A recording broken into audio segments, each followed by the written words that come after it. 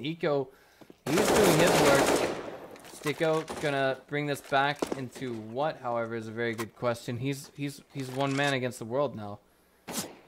Imagine he just did just spot niko, trying to wall him, trying to wall bang him rather. Only manages to get flakes of his oh! HP gone. But check out that nice double tap coming in there. Very clean, two shots. Now he's gonna. Did all those two taps were insane, They and he has were. to be sight. He's getting the bomb plant at least. This could be one of the most insane plays from STYKO if he wins this clutch. Oh my goodness. Absolutely. Can't take it off the table. He's at three kills already.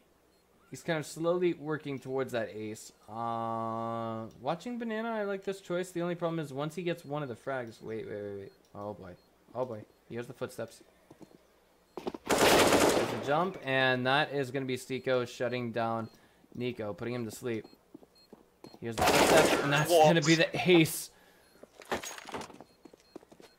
What?